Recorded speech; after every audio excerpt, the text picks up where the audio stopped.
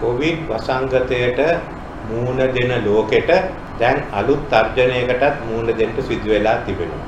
ඇෆ්ගනිස්තානයේ රාජ්‍ය බලය ටලිබන් කණ්ඩායම අල්ලගෙන තියෙනවා. ටලිබන් කණ්ඩායම මීට පෙර ඇෆ්ගනිස්තානය පාලනය කරපු අවස්ථාවේදී ජිහාඩ්වාදී ත්‍රස්තවාදී කණ්ඩායම් ගණනාවක් එතෙන්දි රැස් වුණා.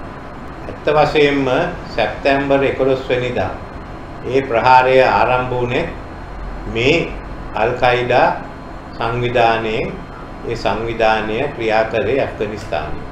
දැන් මේ අලුත් තත්වයේදී යලිත් ටලිබාන් ආණ්ඩුවක් යටතේ ඇෆ්ගනිස්තානය මේවැ ජිහාඩ්වාදී ත්‍රස්තවාදී කණ්ඩායම් වලට මධ්‍යස්ථානයක් වෙන සැකය හැම එක්කෙනා එක්කම තියෙනවා. ඒ ගැන අපි විශේෂයෙන්ම මතක තියාගත යුතුයි. මේ කොරානයේ වැරදි අර්ථකථනයක් උඩ ලෝකේ තියෙන ආණ්ඩු වලටත් ජනතාවටත් පහර ගහන එක අපි කාටවත් අනුමත කරන්න බෑ.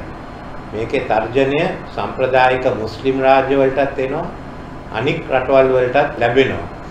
ඒ නිසා මේ අවස්ථාවේදී අපි මේ ගැන විශේෂ අවධානයක් යොමු කර යුතුයි. ටලිබාන් පාලනය පිළිගැනීමට අපේ යුතුයකමක් නැහැ. ඒ නිසා සාමාන්‍ය තත්වයක් ඇති වෙලා ත්‍රස්තවාදී කණ්ඩායම් නොතියනවා නම් පමණක් අපිට මේ පාලනය ආණ්ඩුවේ හැටියට පිළිගන්න පුළුවන්. ඒ එක්කම අපි දැනට කබුල් නගරයේ තියෙන තානාපති කාර්යාලය එතනින් ඉවත් කර යුතුයි. අපිට මධ්‍යම ආසියාවේ තානාපති කාර්යාලයක් වුමනයි වෙන ස්ථානයක වෙන රටක අපිට ඒක ආරම්භ කරන්න පුළුවන්.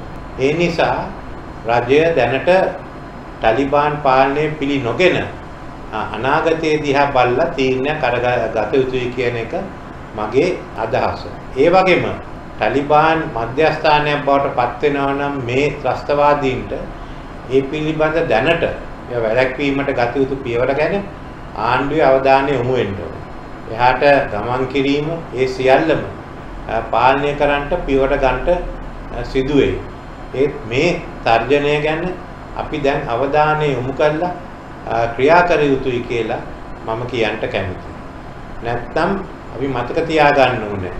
බාමියන් බුද්ධ ප්‍රතිමාව නැති කරපු මේ ටැලිබාන් සංවිධානය පිළිගන්න ගිහින් අපි දැන් මේ මේ කලාපයෙන් නැති කරපු ත්‍රස්තවාදය යලිත් ඇති කරගන්න පුළුවන්.